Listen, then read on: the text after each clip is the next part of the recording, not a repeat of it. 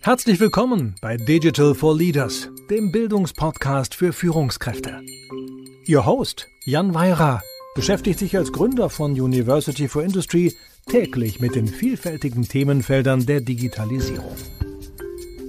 Lernen Sie von spannenden Experten und anhand von Praxisbeispielen, wie Unternehmen erfolgreich die digitale Transformation meistern.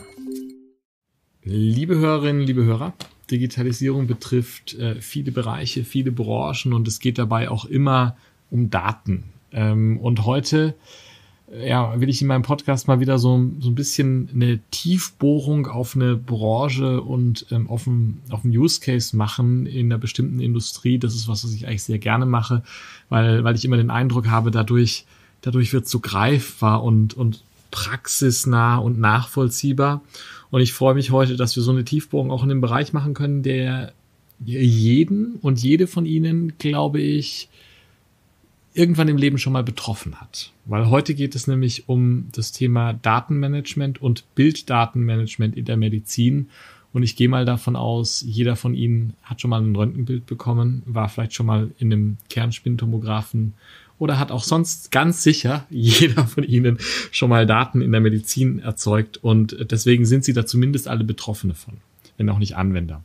Und ich freue mich, einen Gast begrüßen zu dürfen, der sich mit diesem Thema Daten in der Medizin seit mehr als einem Vierteljahrhundert, nämlich seit den frühen 1990er Jahren beschäftigt. Andreas Dobler, er ist Geschäftsführer von Telepax Medical Data GmbH Andreas, vielen Dank, äh, dass du uns heute an deiner Erfahrung ein bisschen teilhaben lässt. Danke, dass ich da sein darf. Andreas, bevor wir einsteigen in die Frage, ja, Digitalisierung in der Medizin, Digitalisierung von Daten und Bilddaten, was passiert da heute eigentlich schon und wo stehen wir da? Sag doch bitte mal für unsere Hörerinnen und Hörer so ein paar Worte äh, über dich und über Telepax Medical Data. Ja, Andreas Dobler, ich bin studierter Wirtschaftsinformatiker, ähm, habe ursprünglich mehrere Jahre in der Entwicklung von Krankenhausinformationssystemen gearbeitet als Softwareentwickler und wir haben 1996 die Firma Telepax gegründet äh, mit dem Ziel, Cloud Archiving für die Medizin zu machen. Das war damals noch alles ganz neu und alles ganz unklar, wie es rechtlich ist, ob es technisch lösbar ist, ob es ähm, auch kommerziell darstellbar ist in so einem kostensensitiven Markt wie im Gesundheitswesen.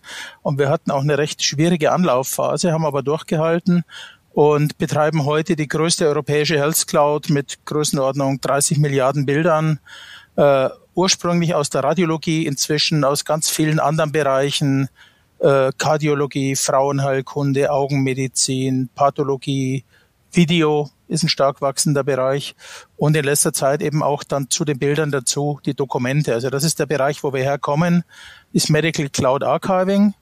Inzwischen ergänzt um, um Bereiche wie Data Sharing, also die meisten haben zu Hause kein CD-Laufwerk mehr. Hm. Das kann man heute über QR-Codes lösen und eben auch die Nutzbarmachung von Daten für die Forschung. Hm.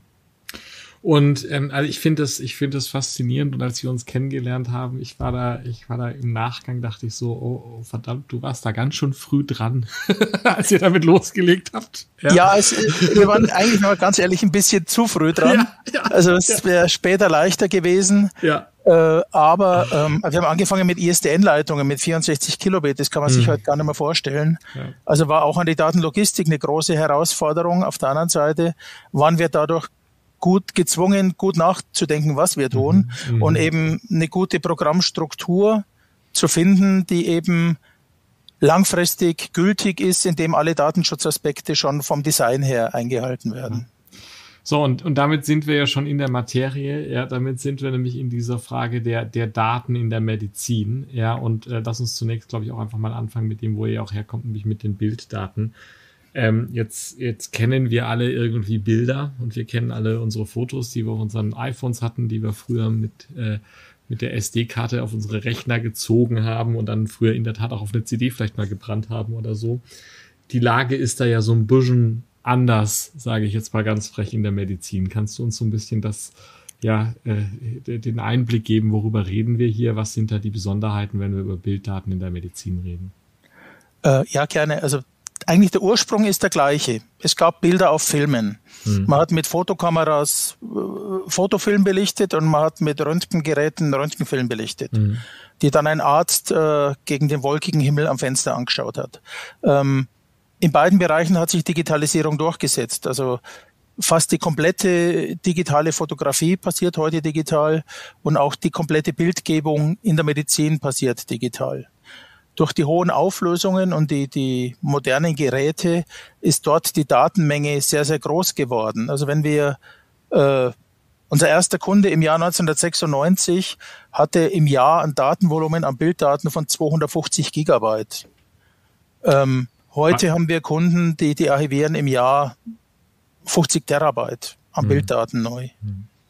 Das war damals 250 Gigabyte, war damals wahrscheinlich unvorstellbar viel, also war eine große Datenmenge, aber heute ist es eine wirklich große Datenmenge, richtig? Ähm, man sieht es eigentlich an der Rechenzentrumsdimension. Unser mhm. erstes Rechenzentrum hatte 4 Terabyte Kapazität. Mhm. Wir haben, heute speichern wir fast das Doppelte pro Tag. Also ja. das ist ein, ein, exponentielles Wachstum, was sich auch ungebremst so fortsetzen wird. Mhm. Warum ist diese hohe Auflösung so nötig? Also, weil das habe ich im Privatbereich ja nicht hm. unbedingt. Ähm, weil man dann genauer kleine Strukturen darstellen kann im Körper. Hm. Je höher die Auflösung, desto kleiner sind die einzelnen Pixel. Hm. Und dadurch kann man dann eben kleine Strukturen zum Beispiel früher erkennen. Also wenn, wenn ein kleiner Tumor halt früher so groß war wie ein Pixel, dann sind es halt, halt mehrere. Und man kann dann wesentlich besser sehen, wie der abgegrenzt ist und äh, was das für Strukturen sind im Gewebe. Das heißt, das ist wirklich sozusagen, das ist in, das ist jetzt nicht nur irgendwie für Forschungsprojekte oder so, wo das wahrscheinlich auch hilfreich ist, sondern das ist wirklich auch einfach in der Medizin angekommen, dass ich mir das zunutze mache, dass ich digital dann eine sehr, sehr hohe Auflösung hinkriege, die früher, dass das so schön äh, skizziert und ich bin auch alt genug, dass ich mich dran erinnere, dass der Arzt in der Tat äh, das Bild äh, nicht gegen das Fenster bei mir, sondern ähm, gegen, gegen diese Glassichtscheibe mit der Lampe dahinter gehalten hat. Glück ja. gehabt. Ja, ähm, das ist einfach der Grund. Mhm. Und es ist so, dass nicht nur die, die Pixelauflösung zunimmt, sondern auch, wenn man jetzt so eine Computertomographie nimmt, äh, dann wird der Mensch, werden jetzt in Scheiben dargestellt, die man dann mhm. dreidimensional anordnen kann. Mhm. Und die Abstände zwischen die, diesen Scheiben sind, sind sehr, sehr viel geringer worden, als es am Anfang waren. Man kann mhm. heute Spiralen fahren, also früher waren das einzelne Bilder und heute fährt man eine Spirale über einen Abschnitt des Körpers und kann da dann auch mit sehr, sehr geringen Schichtigen dreidimensionale Datenmodelle rausrechnen.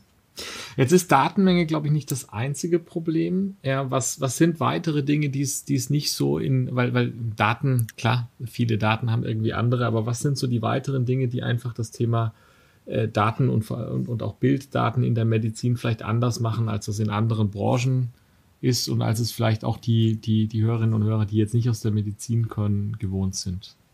Es sind einmal lange Aufbewahrungsfristen. Wir haben mhm. im Röntgenbereich zwischen 10 und 30 Jahren Aufbewahrungsfrist. Da muss man sich von der Speichertechnologie lösen. Also solange, egal was man heute einsetzt, man wird es schon in zehn Jahren nicht mehr nutzen können oder wollen und braucht deswegen so Lifecycle-Management-Strategien, dass eben diese Daten langfristig verfügbar sind. Und da bietet halt heute die Cloud ganz tolle Möglichkeiten, weil es sonst immer schwieriger wird, diese Daten immer wieder umzukopieren auf, auf mhm. neue Speichertechnologien. Mhm. Das ist ein Aspekt. Der zweite Aspekt, die Datenqualität ist wichtig. Also es geht nicht primär darum, auch für die Forschung möglichst viele Daten zu haben, mhm. sondern es müssten möglichst genau die richtigen Daten sein. Mhm. Und die Informationen, um Daten für die Forschung zu nutzen, ähm, haben das Problem, dass sie nicht immer in den Bildern drin stehen. Also so ein Bild besteht aus einem Header mit so Beschreibungsdaten mhm. und hinten dran die Pixeldaten vom eigentlichen Bild. Mhm. Aber man braucht mehr Informationen, wie zum Beispiel Diagnosen, Befunde, Laborwerte, Anamnesedaten, sogenannte mhm. Metadaten, dieses Bild beschreiben um dann für Forschungsprojekte die richtigen Kohorten zu bilden. Und diese mhm. Vermaschung der Informationen ist ganz, ganz wichtig für die Forschung. Mhm. Das heißt also, es geht darum, äh, für die Forschung und wahrscheinlich einfach auch generell sozusagen diese neben dem reinen, neben der Bilddatei ab abzulegen, wo ich ja schon eine Herausforderung habe, die ich dann noch sehr lang aufbewahren muss. Mhm. Dann die Dinge, die der Arzt in dem Moment, wo er das Bild natürlich erstmalig aufnimmt ähm, und mit mir als Patient im Zweifelsfall bespricht, um eine Diagnose zu stellen, möglichst viele von diesen Fakten auch später noch verfügbar zu haben und mitzuspeichern. Richtig. Ja.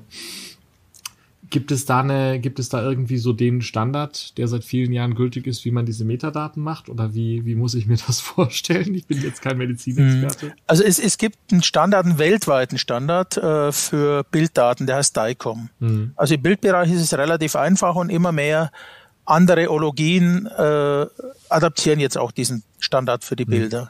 Im Bereich der, äh, ich sag mal, Metadaten ist es schwieriger, weil es da zum Beispiel in der ambulanten Medizin und in der stationären Medizin unterschiedliche Datenformate gibt. Okay. Und auch keine einheitliche medizinische Identität, dass man immer sagen kann, dieser Patient ist jetzt genau der aus dem Krankenhaus. Mhm. Und gerade im Forschungsbereich ist halt oft so ein zeitlicher Verlauf wichtig, der mhm. Stationär und ambulant auch im Mix passieren kann.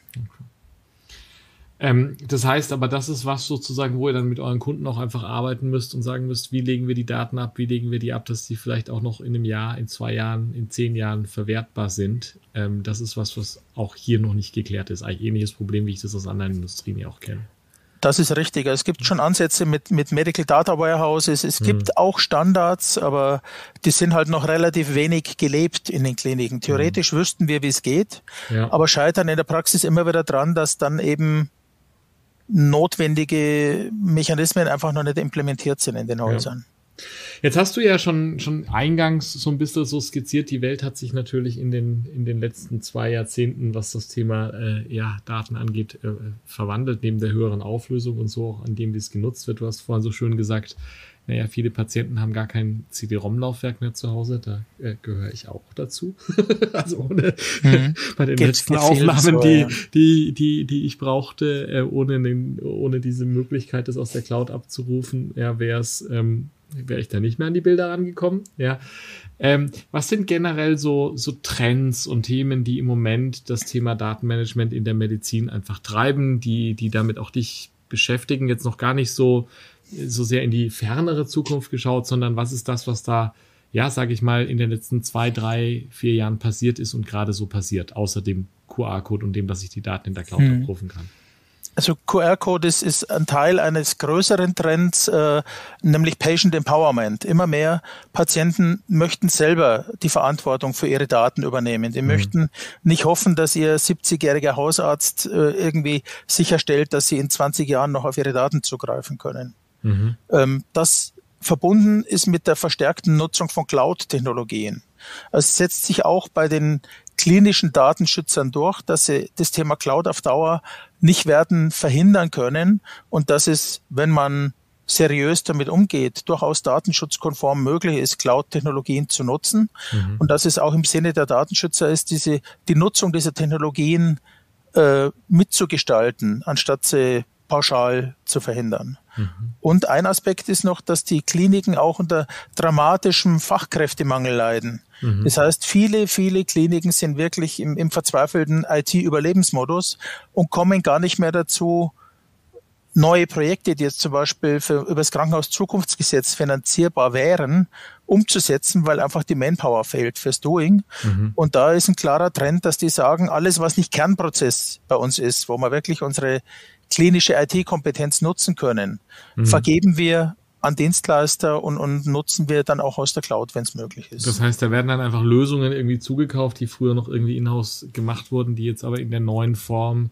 einfach aufgrund des Personalmangels nicht mehr Kern sein können, leider. Richtig, ja. Hm, hm. Ähm, ich glaube, in, in der aktuellen Lage ganz klar, wie, dass wir das Thema künstliche Intelligenz ansprechen müssen. Mhm. Jetzt ist für jetzt ist ChatGPT wahrscheinlich nicht das, das Kernding, worum es hier geht. Aber ähm, welche Rolle spielt das? KI spielt äh, eine große Rolle mhm. äh, im Moment als Assistenzsystem. Also wir setzen es ein in, in den Radiologien zur Unterstützung im Befundungsprozess, zum Beispiel für eine Frakturerkennung oder auch für die, für die Verlaufskontrolle von neurodegenerativen Erkrankungen wie MS. Mhm. Ähm, das Spannende ist, dass es wohl so ist, dass wenn ein Mensch ein Bild anschaut und sagt, ja, ganz klar, ist so, dann ist es manchmal für die KI echt schwer. Und, aber so Tätigkeiten, die wirklich so diese Läsionen verfolgen, ist sie alt, ist sie neu, ist sie gewachsen oder nicht, das kann halt eine KI viel, viel besser und schneller als ein Mensch. Der hat gar nicht die Zeit, das in der Sorgfalt zu machen, wie es eine KI auswerten kann.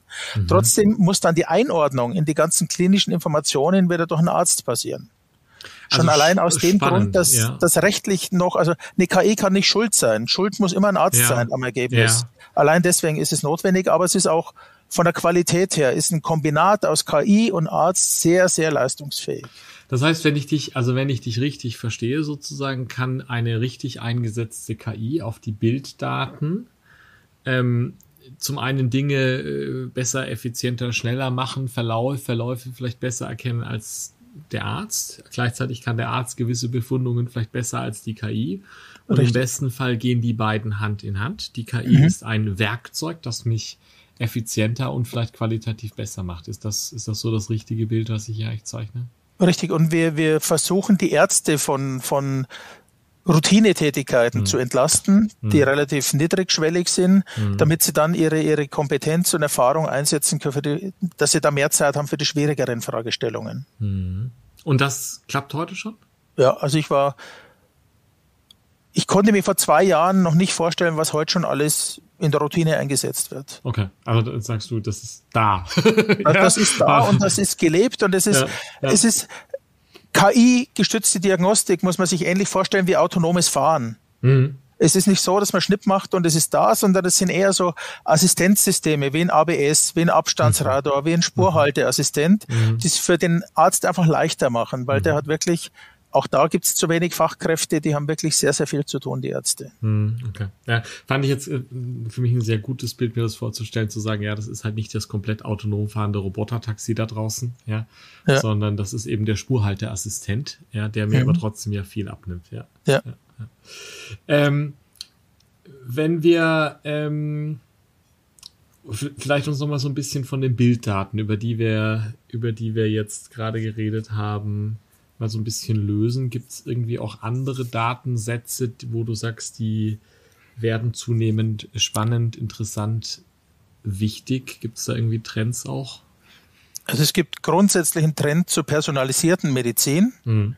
dass man eben nicht sagt, aha, das ist jetzt ein Mammakarzinom zum Beispiel im Brustkrebs, sondern da gibt es inzwischen verschiedene Subtypen und abhängig davon, da muss man dann einmal Bilddaten analysieren, man muss dann oft auch Genomdaten analysieren mhm. Mhm. und kann dann eine ganz, ganz spezifische Therapie für die Patientin wählen mit einem sehr hohen einen sehr guten Trefferbild, sage ich mal. Also wo man einen hohen Therapieerfolg hat und hoffentlich die, die Nebenwirkungen auf ein, auf ein möglichst geringes Maß äh, drücken kann. Mhm. Und dafür sind eigentlich immer Daten und oft auch Kombinationen von Daten. Also nicht nur Bilder und nicht nur Genomdaten, sondern man spricht auch von Radiomics zum Beispiel in dem Bereich, also so eine Verballhornung von Genomics und, und Radiologiedaten, mhm.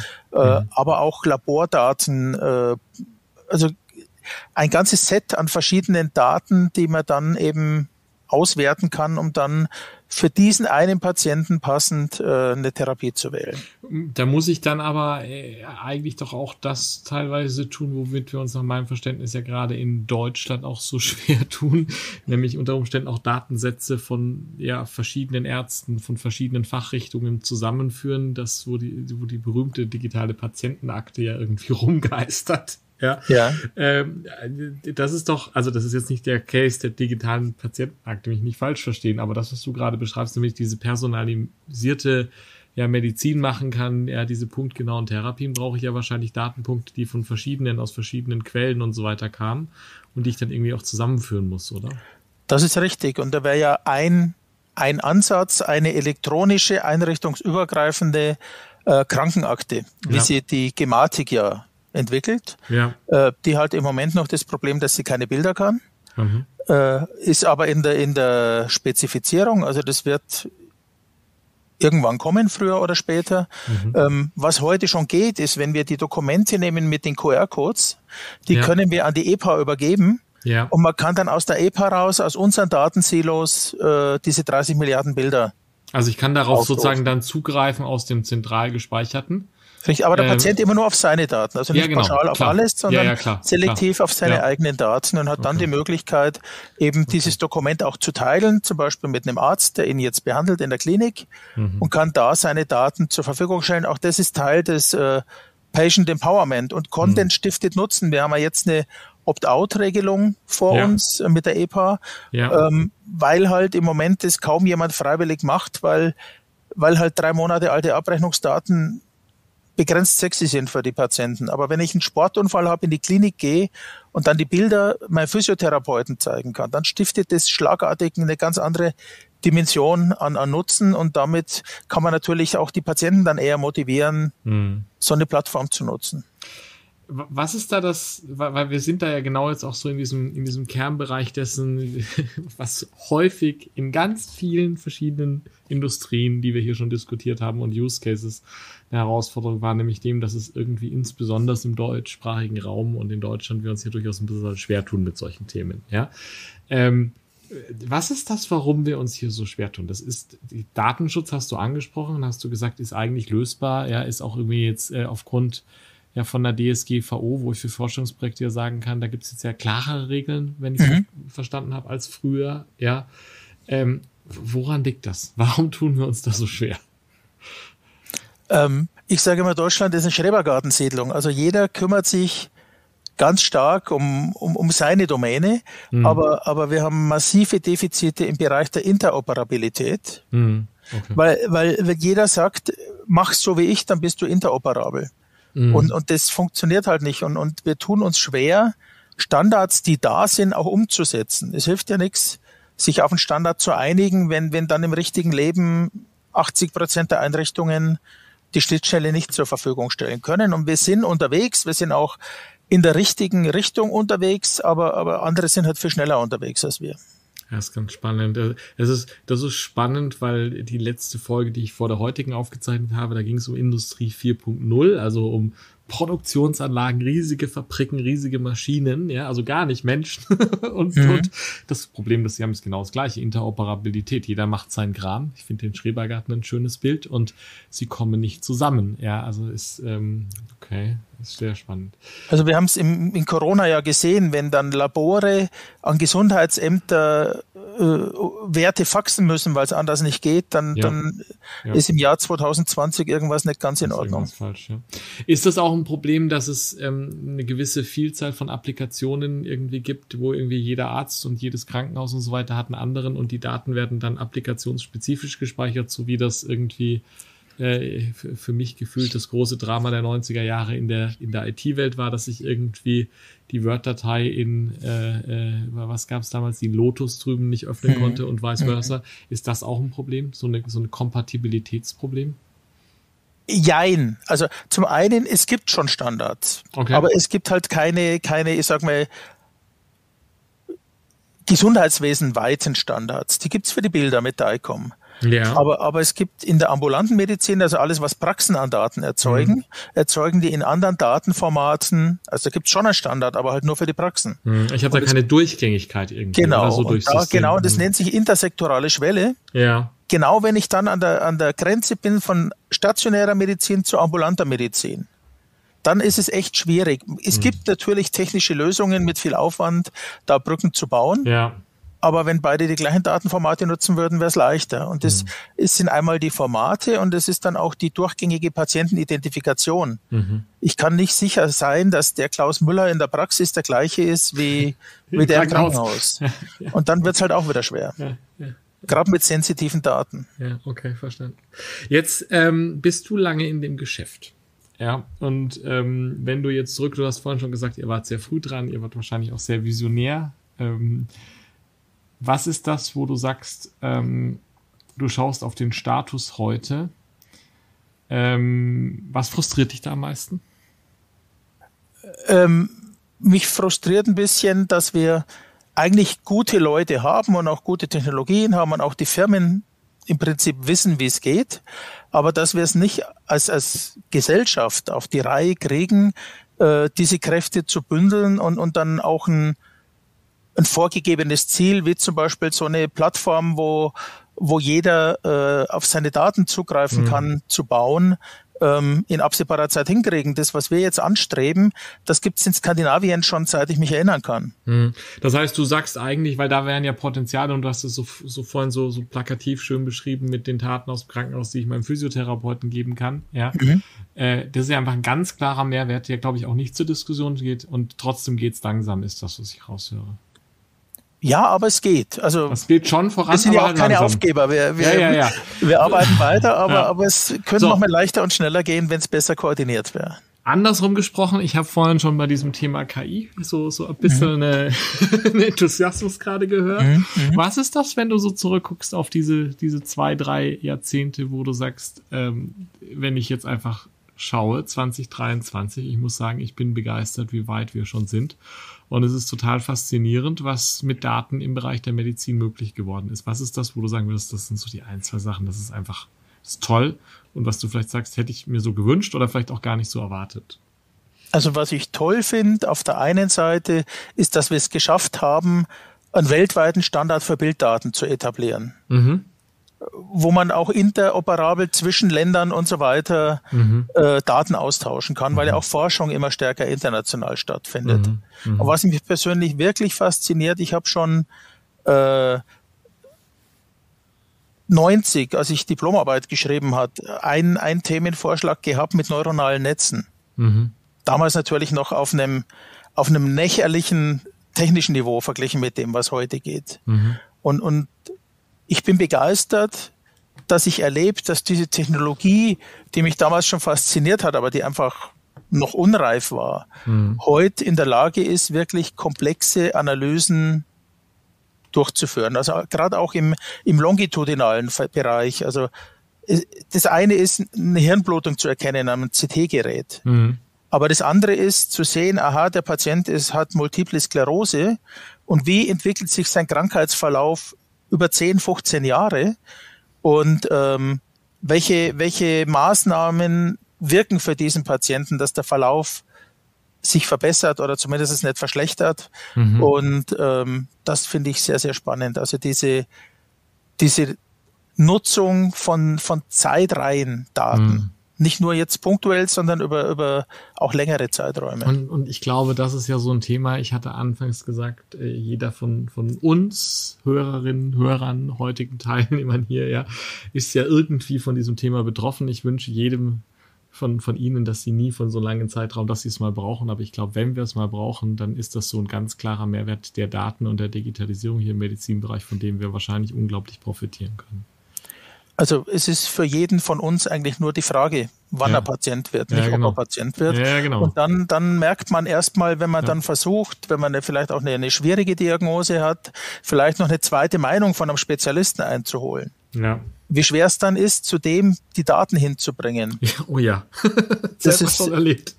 echt unfassbar.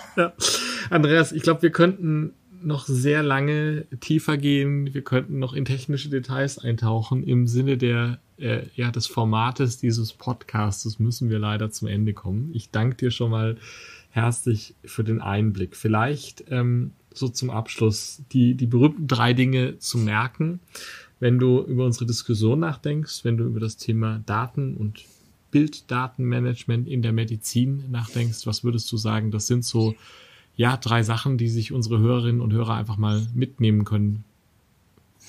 Ähm, als erstes würde ich sagen, habt keine Angst vor der Cloud. Also natürlich sind medizinische Daten personenbezogen sehr, sehr schutzbedürftig. Aber es gibt Technologien, die Daten in der Cloud verschlüsselt abzulegen und dann halt erst an dem Ort, wo sie benötigt werden, zu entschlüsseln und zu nutzen. Man muss mhm. genau wissen, was man tut, aber das ist grundsätzlich DSGVO DSGVO-konform darstellbar. Mhm. Zum Zweiten, ähm, medizinische Innovation ist immer stärker datengetrieben. Mhm. Wir müssen es am Standort Deutschland schaffen, Daten für die Forschung nutzbar zu machen, weil sonst diese Innovation nicht in Deutschland oder Europa stattfinden wird. Mhm. Und wir stellen fest, dass jetzt so KI zum Beispiel, die jetzt mit chinesischen Daten trainiert wurde, weil wir halt einfach etwas andere Proportionen haben als ein Asiate oder viele von uns, nicht so gut funktionieren wie, wie in der Population, aus der die, die Trainingsdaten spannend. stammen. Okay. Das heißt, wir müssen da selber unsere Daten nutzen, sonst können wir die, die Innovation nicht nutzen. Wir, wir sind besser mit eigenen Daten als, hm. als mit fremden. Spannend. Okay. Und das dritte ist, Patient Empowerment. Jeder sollte den Mut und den Anspruch haben, sich selber um seine Daten zu kümmern damit er dann, wenn er sie braucht, nicht von Pontius zu Pilatus läuft äh, und verzweifelt versucht, irgendwo noch Daten herzukriegen, die dann vielleicht, wenn man sie braucht, wenn sie älter sind, gar nicht mehr verfügbar sind. Du, vielen Dank für diese schöne, spannende Zusammenfassung, auch für diesen, für diesen interessanten Ausblick, auch nochmal mit was Neuem. Ähm, hast du am Schluss noch ein, ja, eine Empfehlung zum Lesen oder Hören, also für ein Buch oder ein Podcast oder was ähnliches? Ich habe beides. Ich habe ein Buch ah. und ein Podcast. Ja, super. ähm, das Buch ist von Kai Fu Lee. Mhm. Der war äh, Chef von Google in China und der beschreibt die unterschiedlichen Herangehensweisen der Chinesen und der Amerikaner mhm. an künstliche Intelligenz, heißt AI Superpowers und äh, was das für Auswirkungen auf, auf eine neue Weltordnung haben könnte. Super spannend. Also sehr spannendes Thema, auch gut ja. geschrieben. Äh, der Podcast ist wirklich aus, aus persönlichem Interesse getrieben. Ich bin ein großer Geschichtspodcast-Fan und ich würde Geschichten aus der Geschichte empfehlen. Es sind zwei Historiker, die sich gegenseitig äh, Geschichten aus der Geschichte erzählen, Anekdoten zu bestimmten Anlässen. Und äh, da geht es eben um verschiedene Aspekte, unter anderem auch um Wissenschaftsgeschichte. Du, vielen Dank für diese beiden Tipps. Die werden wir äh, selbstverständlich für Sie, liebe Hörerinnen, liebe Hörer, in den Show Notes verlinken, genauso wie wir den Link zu dir dort herstellen werden.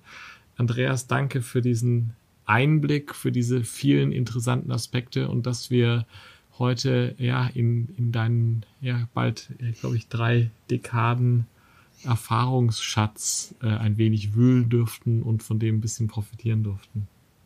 Danke für das interessante Gespräch, hat viel Spaß gemacht. Vielen Dank fürs Zuhören. Wenn Ihnen diese Folge von Digital for Leaders gefallen hat, empfehlen Sie den Podcast gerne weiter, teilen Sie ihn auf Social Media oder hinterlassen Sie eine Bewertung. Um immer auf dem Laufenden zu bleiben, folgen Sie Jan Weirer und University for Industry auf LinkedIn.